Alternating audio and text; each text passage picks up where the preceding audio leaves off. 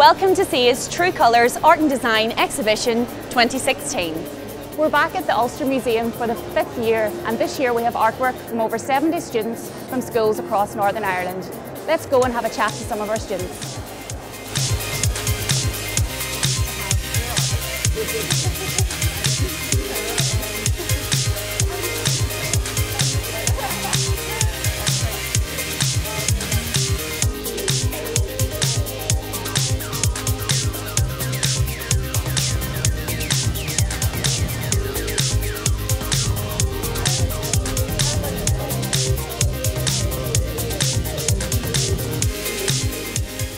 Me a bit about your pieces here that you have exhibited at True Colours. Okay, so basically my theme this year was beauty and I chose to do the three big portraits to describe the ugly side of beauty. So as you can see here I have two portraits of my sisters. Um, one is to show how um, young girls try hard to look older with beauty, um, how older girls get insecure to live up to the standard of beauty and then how animals are cruel are tested um, cruelly with cosmetics. So that's the basic idea. And Roisin, are you hoping to use um, art in the next step in your career? Well, I'm studying psychology at Queen's at the minute, so like I'm going to finish that and then go on and try to get into art therapy because I feel like I could really use my skills to help young people and like older generations because I feel like art's something that like everyone should like be able to experience and like through your creative aspects and like all the different parts of it and I just feel like it's really like something everyone should experience and I really enjoy it. Can you tell me a bit about the inspiration behind these pieces? Yeah, I was inspired by chiaroscuro mainly, which is like technique used by Rembrandt and Caravaggio, like classical artists, and how the mood they create from like light, light, lighting um, figures coming from a dark background, and it's a really interesting mood that they create. Very like, very dark yeah. and so, like somber mood. Yeah.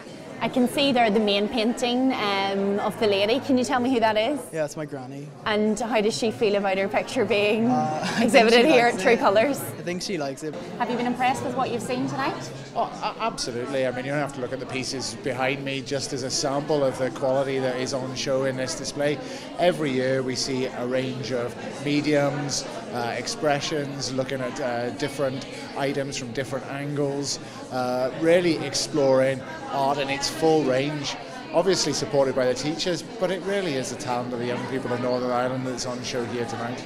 Well, my project was based on These Are a Few of My Favourite Things, uh, the song from The Sound of Music, and one of the lyrics in that I worked through in my project the, through a lot of the lyrics, but the for my final piece I did wild geese that fly with the moon on their wings. So I did some work on top of feathers and with feathers to make like sketchy drawings, um, which came to this. Um, and there's writing underneath because it kind of tells a story like illustrations sort of should. I'm so happy to be included in True Colours. It was my dream from GCSE, so I'm so happy in my AS work. So. With the self-portrait of Rembrandt being upstairs in the Ulster Museum, how does it feel having your artwork exhibited in the same space as his? Seriously, just being 17 and having your artwork in, in the museum at the same time as that, it's just phenomenal. The whole idea was um, layering faces so it went a bit deeper than that, but my influence and stuff was Picasso a bit at the start.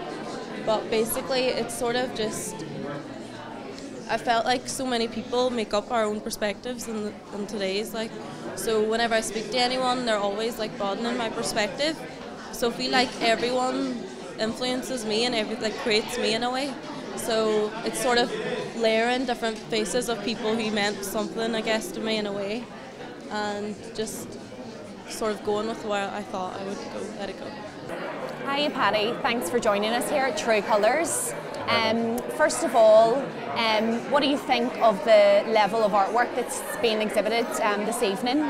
Well, as always, I mean, there's a great variety, great deal of skill, great deal of passion, and a lot of work. So, I mean, I think we've got to take our hats off to the, the pupils and or the young artists and uh, those that are guiding and the teachers. Did you have to do much research for the piece?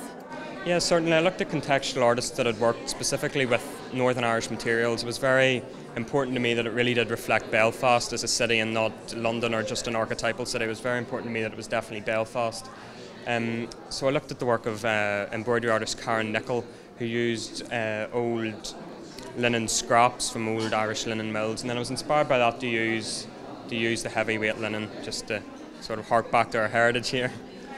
Darcy, firstly, congratulations. This is your third year exhibiting the true colours. You've been here for GCSE, AS, and A2. That's a wonderful achievement. Yes, I think I've been very lucky with it. So yeah, no, it's been really good. And seeing everyone else's work is like so good coming here every year, yeah. getting ideas. That's brilliant, Darcy. Are you using your art now that you've left school? Yeah, I'm at Belfast College of Art um, studying graphic design and illustration, so it's really good fun. It's it's definitely out of my comfort zone because it's way more graphic and I'm used to sort of all the elaborate swirly whirly bits. But yeah, no, it's been really good. We hope you've enjoyed some of the fantastic work that's been on show here at the Ulster Museum by some of Northern Ireland's most talented young artists. True Colours runs from the 15th of January until the 22nd of February. Admission is free and open for all. We hope you come down and enjoy the exhibition.